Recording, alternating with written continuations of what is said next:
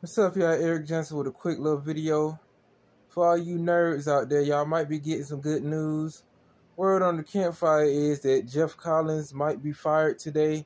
Hell, y'all might bring Paul Johnson back. Y'all might need some help from former Georgia Tech Tech coaches that can actually win y'all um, more than three games this year. But y'all did lose to UCF yesterday. They're a way better team than y'all. Uh, y'all did lose by 17 to them. It I already said in one of my videos that Geoff Collins wasn't gonna make it through the whole fucking season without him getting fired. You have the Georgia Tech big wigs in their um Oval offices um looking at Japanese hentai, Pokemon pornos, and just playing with Blade Blades and just playing with you know Pokemon cards. Maybe Yu-Gi-Oh.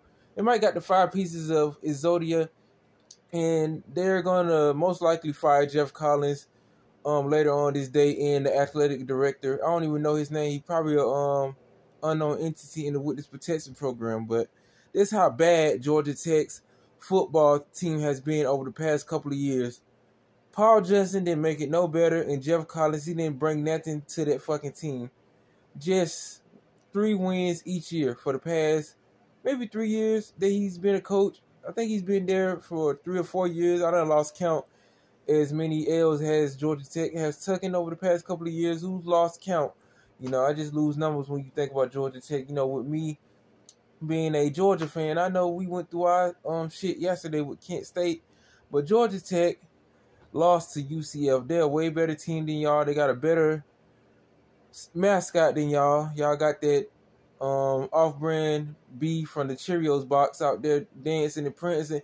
And I made this um thought, and I thought of this as Georgia Tech fans being at home games and they're and they're seeing their team getting blown out. You know, getting the Andrew Gillum, their booty hole blown out on the field, offensively and defensively. Do they be paying the students to um, stay at these games when they begin blew out, or I don't know if it's some magic within that stadium because it is um Sanford Stadium North. You know, Sanford Stadium ATL. We own that stadium.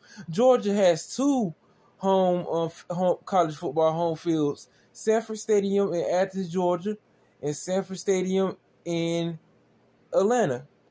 I know they renamed the um stadium in Athens. They call it Vince Dooley Field or something, but I always call it Stanford North, or I might be getting that wrong. But we already know how this season is going to end for Georgia Tech. Geoff Collins most likely today will be fired I don't know if they're gonna make somebody the new head coach, interim head coach for the rest of the season. Then just see if they can uh, scout the um the free agency field for coaches to come into Georgia Tech and actually try to get them um six wins. They was talking about Deion Sanders coming in from Jackson State to be the coach for Georgia Tech. Ain't no amount of money or cocaine or anything else y'all can offer Deion Sanders will get him to leave Jackson State to go coach at Georgia Tech. All the star power, all the Nick Saban can go coach at Georgia Tech next year, and he still won't win those, uh, uh, that amount of games for, for um, Georgia Tech. That's how bad they fucking are. You got other teams out here winning games. Middle Tennessee dominated um, Miami yesterday. Drug them bitches across the field like a bayang off Cynthia Cynthia G's big ass head. You know how when you get your ass whooped, like when some of these female project bitches be fighting, and they just drag those bayang wigs and just snatch them off they off their heads like Joel Osteen do at a church sermon, or just get the Holy Ghost and just start going crazy. That's how Georgia Tech's football um team has been. They don't care about football. I don't know. They're not a basketball school, nor is um the University of Georgia a basketball school. We a foosball school. We care about winning. We care about national championships, representing the ACC you know, in star caliber games and dominating, you know, teams out there on that field. But Georgia Tech, on the other hand, like, I don't know, man. It's just they done lost their spirit. They done lost their soul when it comes to them actually playing football. And if they keep playing like this in the next coming years, I don't think Georgia Tech will actually have a football team, you know, to actually, you know, have pride.